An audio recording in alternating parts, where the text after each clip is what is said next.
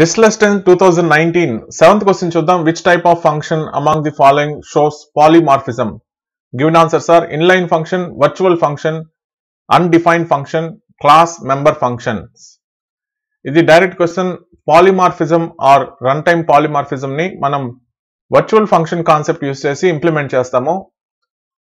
కాకుంటే దీనిలో ఈ కాన్సెప్ట్లో నెక్స్ట్ రాబోయే ఎగ్జామ్లు కూడా క్వశ్చన్ అడిగేదానికి అవకాశం ఉంది కాబట్టి ఒకసారి రన్ టైమ్ పాలిమార్ఫిజం అంటే ఏంది? వర్చువల్ ఫంక్షన్స్ సి ప్లస్ ప్లస్లో ఎట్లా డిఫైన్ చేయాలి? వర్చువల్ ఫంక్షన్ అంటే ఏంది? ఈ విషయాలన్నీ ఒక ఎగ్జాంపుల్ శాంపుల్ ప్రోగ్రామ్ చూసి తీసుకొని చూద్దాం.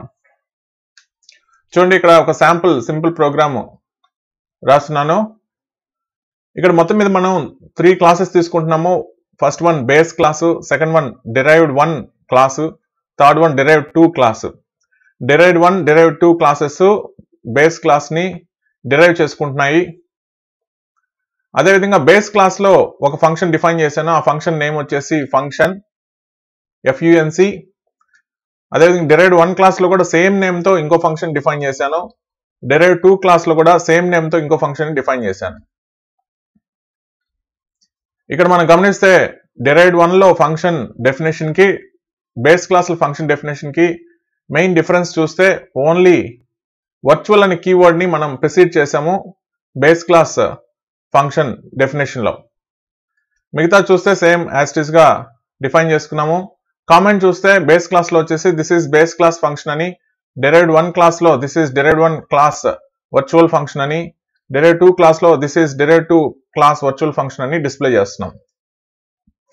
ఈ విధంగా బేస్ క్లాస్లో డెరైవ్డ్ క్లాసెస్లో సేమ్ నేమ్తో ఫంక్షన్ డిఫైన్ చేస్తే దాన్ని function overriding function overriding అని కాల్ చేస్తాం. ఈ ఫంక్షన్ ఓవర్ రైడింగ్ని ఎందుకు ఇంప్లిమెంట్ చేస్తామంటే రన్ టైమ్ పాలిమార్ఫిజం ని డిఫైన్ చేసుకోవడానికి. ఈ రన్ టైమ్ పాలిమార్ఫిజం డిఫైన్ చేయాలంటే బేస్ క్లాస్లో మనం ఏదైతే ఫంక్షన్ని ఓవర్ రైడ్ చేయాలనుకుంటామో ఆ ఫంక్షన్కి ముందు వర్చువల్ అనే కీవర్డ్ని యూజ్ చేయాలి. ఇప్పుడు మన ఇంప్లిమెంటేషన్ విషయానికి వస్తే మనం పైన చూపించిన base class derived class derived one class derived two class. Three class ఉన్నాయి మొత్తం మీద.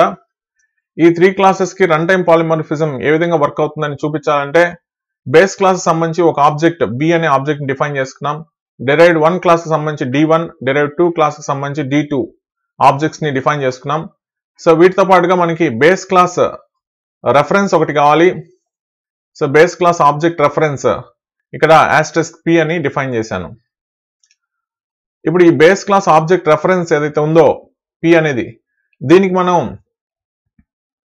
ఏ ఆబ్జెక్ట్ అడ్రస్ని అయితే అసైన్ చేస్తామో ఆ ఫంక్షన్ కాల్ అవుతుంది. ఫర్ ఎగ్జాంపుల్ ఇక్కడ మనం కోడ్లో గమనిస్తే ఫస్ట్ నేను